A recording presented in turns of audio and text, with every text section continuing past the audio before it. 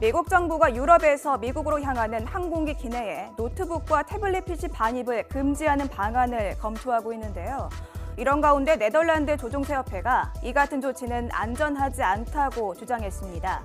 이 노트북에 들어있는 리튬이온 배터리가 화재를 유발할 수 있다 이건데요.